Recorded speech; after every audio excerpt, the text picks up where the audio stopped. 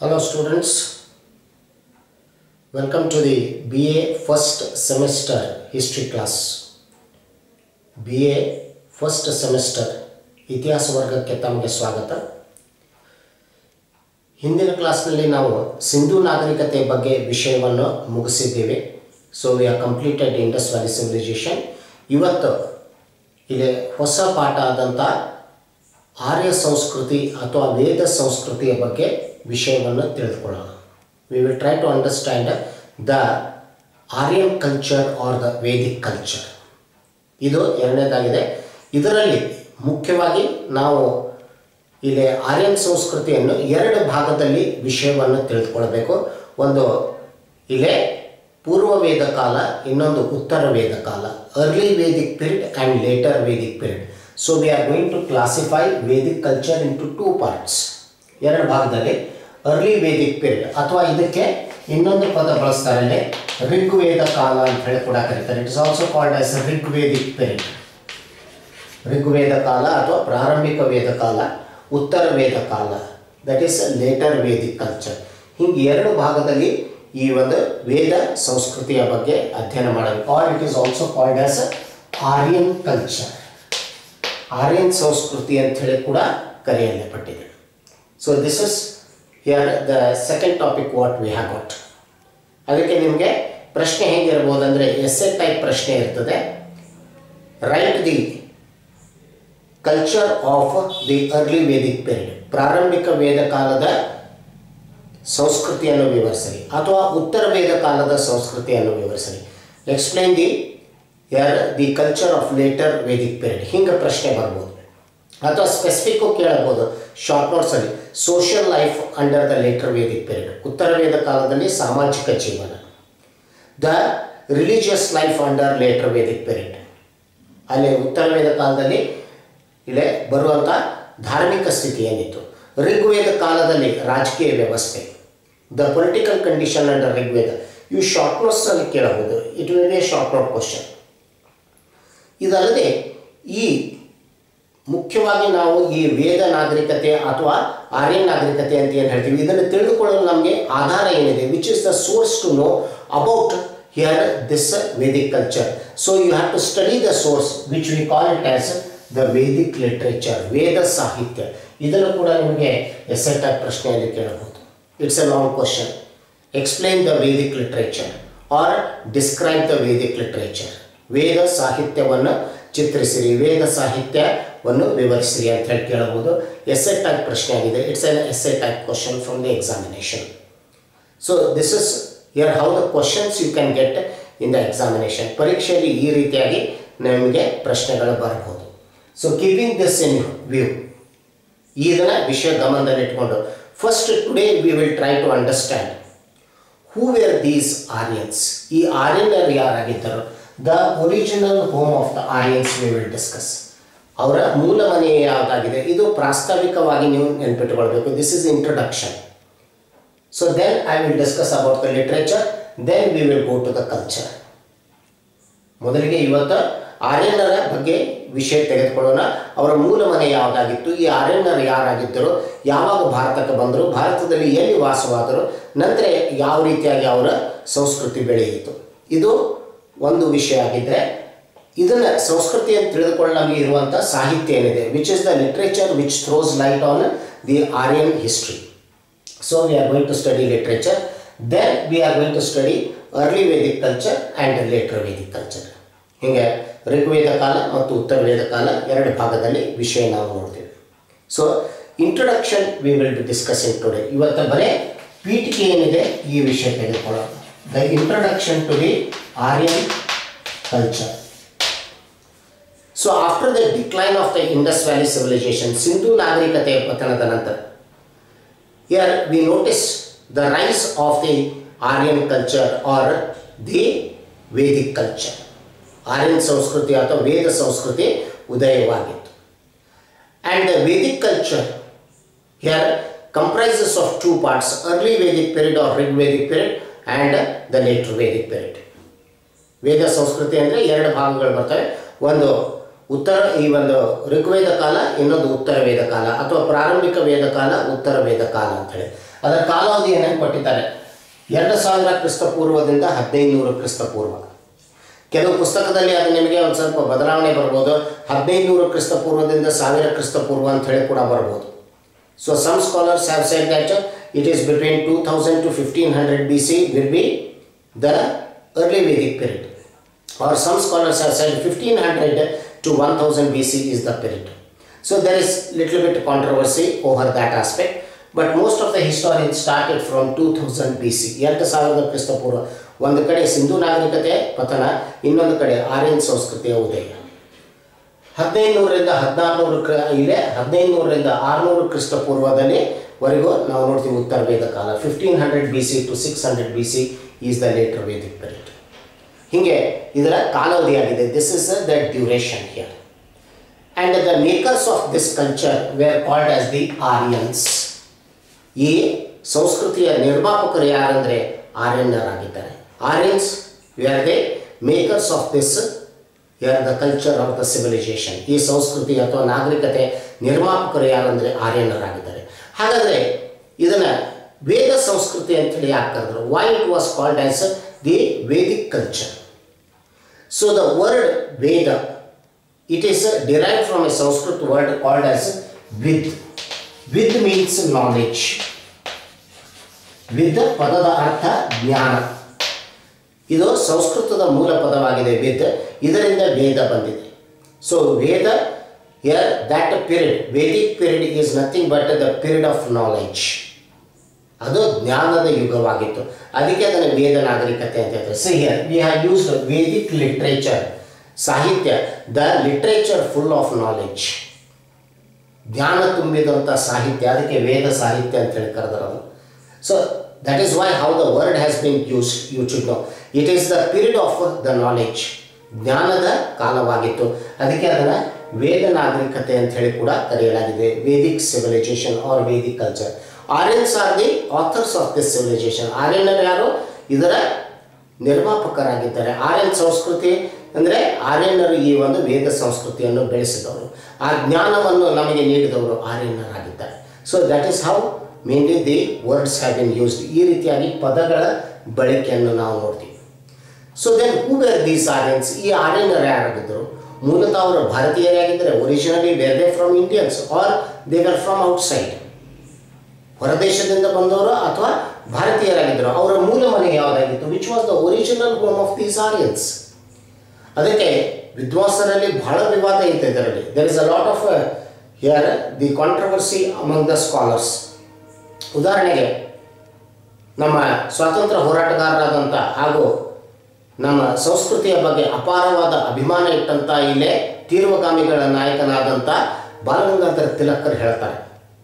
The extremist leader the freedom fighter of India and the lover and the upholder of the Indian heritage and culture he says Aryans were from Arctic region ಆರ್ಯನರು ಬಂದದ್ದು Arctic ಪ್ರದೇಶದಿಂದ, ಉತ್ತರ ಧ್ರುವ ಪ್ರದೇಶದಿಂದ ಬಂದವರು ಅಂತ ಹೇಳ್ತಾರೆ ಬಾಲಗಂಗಾಧರ ತಿಲಕರು ಹಾಗೆ ಇನ್ನೊಬ್ಬ ಸಮಾಜ ಸುಧಾರಕ ಹತ್ತೊಂಬತ್ತನೇ ಶತಮಾನದ ನೋಡ್ತೀವಿ ಸಿಲೆ Dayananda Saraswati who had well read heritage culture and the lit ancient literature ಸಮಾಜ ಸುಧಾರಕ the social reformer of nineteen century Dayanand Saraswati who was a great exponent of the Indian culture ಅಭಾವ ಅಪಾರವಾದ ಅಭಿಮಾನ ಇತ್ತು ಅವರು, ನಮ್ಮ ಸಂಸ್ಕೃತಿಯ ಮೇಲೆ. ಅವರು ಹೇಳ್ತಾರೆ the Aryans originally came from Tibet ಆರ್ಯನರ ಮೂಲ ಮನೆ ಟಿಬಿಟ್ ಆಗೈತೆ ಅಂತ ಹೇಳ್ತಾರೆ. The Tibet was the original home Tibet ಅವರ ಮೂಲ ಮನೆ ಆಗಿತ್ತು ಅಂತ ಹೇಳ್ತಾರೆ. ಹೀಗೆ ನಾವು ನೋಡ್ತೀವಿ ಅಲ್ಲೇ ಬೇರೆ ಬೇರೆ ವಿದ್ವಾಂಸರು ಬೇರೆ ಬೇರೆ ರೀತಿಯಾಗಿ ಇಲ್ಲೇ ಅದನ್ನು ವಿಷಯ ಹೇಳ್ತಾರೆ. ಅದಕ್ಕೆ ಇಲ್ಲೇ ಜರ್ಮನ್ ಇತಿಹಾಸಗಾರ ಬರ್ತಾನೆ ಅಲ್ಲೇ ಟ್ರೆಂಕಾ ಅಂತ ಹೇಳಿ ಒಬ್ಬರು ಬರ್ತಾರೆ. Trenka says that the steppes Poland Pradesh. Russia ಮತ್ತು ಪೋಲೆಂಡ್ ಪ್ರದೇಶ ಸ್ಟೆಪೀಸ್ ಹುಲ್ಗಾ ಇಲ್ಲೇ grassland Pradesh. The grassland region steppes ಅದು ಮೂಲ ಮನೆ ಆಗಿತ್ತು ಅಂತ ಹೇಳ್ತಾರೆ.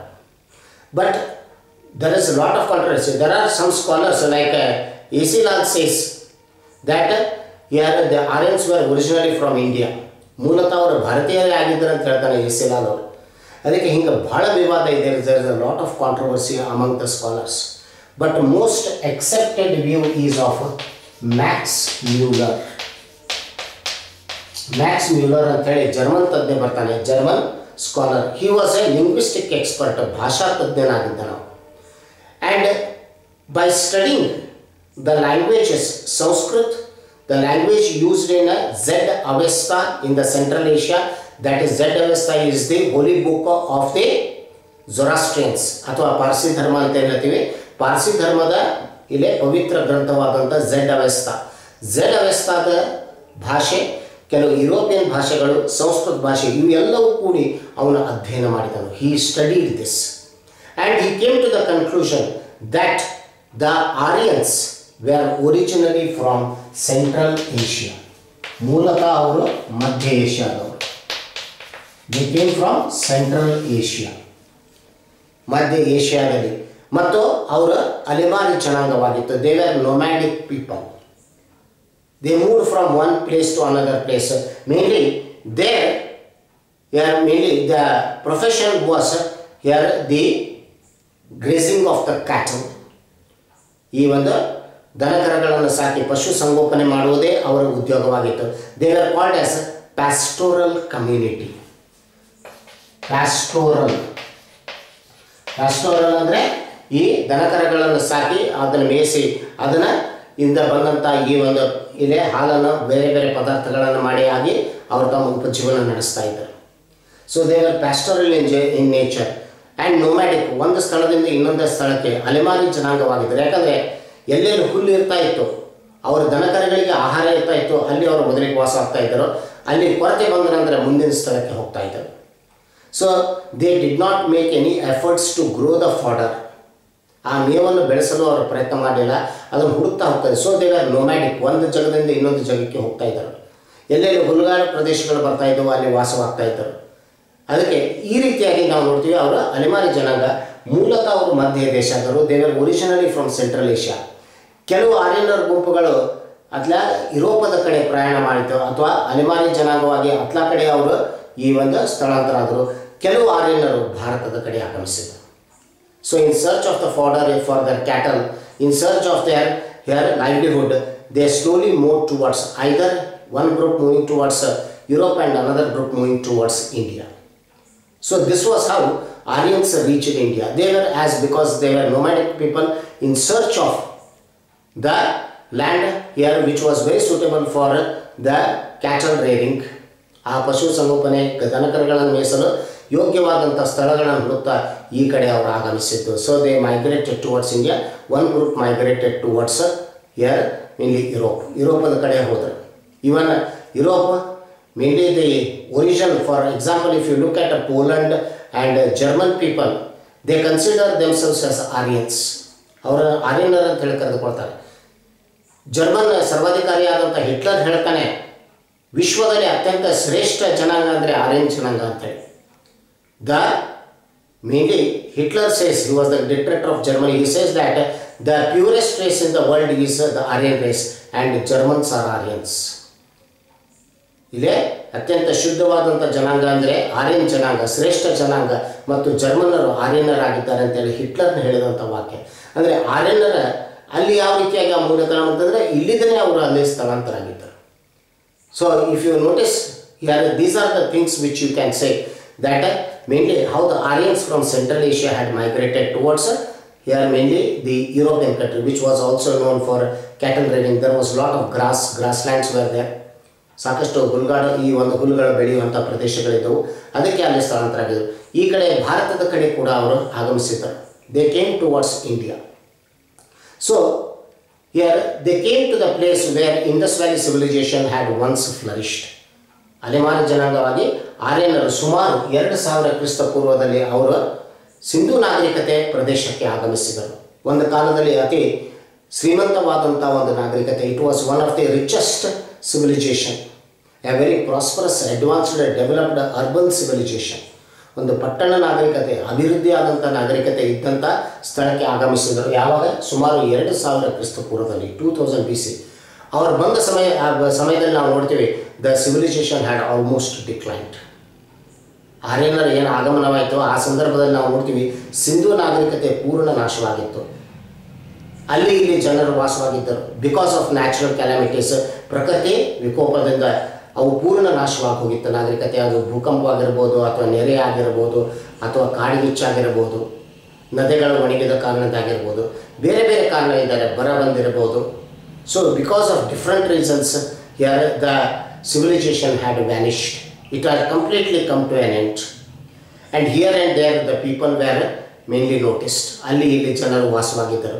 So Aryans coming to India they found that this place was very suitable ಇದು ಅತ್ಯಂತ ಸೂಕ್ತವಾದ ಸ್ಥಳ. So what they thought of settling here ಇಲ್ಲಿ ಅವರು ವಾಸವಾಗಲು ಇಲ್ಲೇ ನಿರ್ಧರಿಸಿದರು. So they first settled in the region called Sapta Sindhu Sapta Sindhu ಪ್ರದೇಶದಲ್ಲಿ ಆರ್ಯನರ ಮೊದಲಿಗೆ ಇಲ್ಲಿ ವಾಸವಾಗಿತ್ತು. Sapta Sindhu means seven river beds ಏಳು ನದಿ ದಂಡೆ ಮೇಲೆ ವಾಸವಾದರು ಅದರಲ್ಲಿ ಒಂದು ನದಿ ಹೆಸರು ಕೊಟ್ಟಿದ್ದಾರೆ ಅವರು ಸಿಂಧು. ಸಿಂಧುಗೆ ಐದು ಉಪನದಿಗಳು ಬರ್ತವೆ. Jhelum, Ravi, Chenab Beas Sutlej. Five tributaries of Indus they were ಯಾರು ರಾವಿ ಚಿನಾಬ್ ಬಿಯಾಸ್ ಸತ್ಲಜ್ ಝೇಲಂ ಫೈವ್ ಟ್ರಿಬ್ಯೂಟರೀಸ್ ಐದು ಉಪನದಿಗಳು, ಇನ್ನೊಂದು ಏಳನೆಯದು ಸರಸ್ವತಿ, ಸಿಂಧು, ಸರಸ್ವತಿ ಮತ್ತು ಐದು ಉಪನದಿಗಳು. ಸೇರಿ ಏಳು ನದಿ ದಂಡೆಗಳ ಮೇಲೆ ಅವರು ವಾಸವಾದರು. ಅದಕ್ಕೆ ಅವರು ಸಪ್ತ ಸಿಂಧು ಪ್ರದೇಶ ಅಂತ ಹೇಳಿ ಕರೆದರು. They called it as a Sapta Sindhu region ಅಲ್ಲಿ ಅವರು ವಾಸವಾಗಿದ್ದರು. ಹೀಗೆ ಮೂಲತಃ ಆರ್ಯನರು ಮಧ್ಯ ಏಷ್ಯಾದಿಂದ ಬಂದದ್ದು. ಅವರು ಭಾರತಕ್ಕೆ ಬಂದು ಸಪ್ತ ಸಿಂಧು ಅಂದರೆ ಒಂದು ಕಾಲದಲ್ಲಿ ಸಿಂಧು ನಾಗರಿಕತೆ ಬೆಳೆದಂಥ ಪ್ರದೇಶ. Where it was the Indus valley civilization had developed so they made their settlement and developed a new culture which came to be called as Vedic culture or Aryan culture So Aryan here, the word Aryan means noble people having here a common language. Aryan ಪದದ ಅರ್ಥ ಆರ್ಯ ಅಂತಂದರೆ ಉತ್ತಮ ಪುರುಷರು. ಮತ್ತು ಒಂದೇ ಥರದ ಭಾಷೆ ಮಾತಾಡುವಂಥವರು ಅದೇ ಆರ್ಯನ್. ಅದು ಒಂದು ಭಾಷಾ ಗುಂಪಾಗಿತ್ತು it is a linguistic group where it was of a noble people ಅವರನ್ನು ಉತ್ತಮ ಜನ ಆರ್ಯ ಅಂದರೆ ಉತ್ತಮ ಜನ ಜನರು. ಅಂಥ ಒಂದು ಉತ್ತಮ ಜನರ ಒಂದು ನಾಗರಿಕತೆಗೆ ಆರ್ಯ ನಾಗರಿಕತೆ ಅಥವಾ ಜ್ಞಾನಭರಿತವಾದಂಥ ಒಂದು ಕಾಲ ಇದು. ಕಾರಣಕ್ಕಾಗಿ ಇಲ್ಲೇ ವೇದ ಸಂಸ್ಕೃತಿ ಅಂತ ಹೇಳಿ ಕರೆಯಲ್ಪಟ್ಟಿತು because they were very noble people Here it came to be called as Arya, and it was a linguistic community. Arya was a linguistic community, and as knowledge was imparted a lot in this period, it also came to be termed as Vedic culture. So this is how Aryan's original home is given. This is uh, the theory given by Max Muller. Max ಮ್ಯೂಲರ್ನ ಸಿದ್ಧಾಂತವಾಗಿದೆ German ತಜ್ಞನಾಗಿದ್ದನು ಅವನು ಕೊಟ್ಟಂಥ ಸಿದ್ಧಾಂತ ಈಗ ಆರ್ಯನರು ಮೂಲ ಮನೆ ಅವ್ರದ್ದು ಮಧ್ಯ ಏಷ್ಯಾ ಆಗಿತ್ತು ಅಂತ ಹೇಳಿದ್ದು ಇದನ್ನು ಹೆಚ್ಚಿನ ಇತಿಹಾಸಗಾರರು ಒಪ್ಪಿಕೊಂಡಿದ್ದಾರೆ most of the historians have accepted this so this is what you have to keep as the introduction ಇದನ್ನು ಪೀಠಿಕೆಯಾಗಿ ಇಟ್ಕೊಳ್ಳಿ. ನಂತರ ಈ ಸಂಸ್ಕೃತಿಯ ಬಗ್ಗೆ ನಮಗೆ ತಿಳಿದುಕೊಳ್ಳಲು ಆಧಾರ ಏನಿದೆ ಅಂದರೆ ಅದು ವೇದ ಸಾಹಿತ್ಯವಾಗಿದೆ. The Vedic literature is the source to study about this culture so this aspect I will be discussing in the next class ಈ ವೇದ ಸಾಹಿತ್ಯ ಏನಿದೆ, ಮುಂದಿನ ಕ್ಲಾಸ್ನಲ್ಲಿ ಅದನ್ನು ಚರ್ಚೆ ಮಾಡ್ತೀನಿ. ಅದು ನಿಮಗೆ ಇಂಪಾರ್ಟೆಂಟ್ ಕ್ವಶನ್ ಇದೆ. ಪರೀಕ್ಷೆ ದೃಷ್ಟಿಯಿಂದ ಎಸ್ ಎ ಟೈಪ್ ಪ್ರಶ್ನೆ ಬರ್ಬೋದು. ಹೆಂಗೆ ಬರೀಬೇಕು? ಆ ವಿಷಯವನ್ನು ನಾನಲ್ಲೇ ಚರ್ಚೆ ಮಾಡ್ತೀನಿ. So this remember it and we will continue it in the next class thank you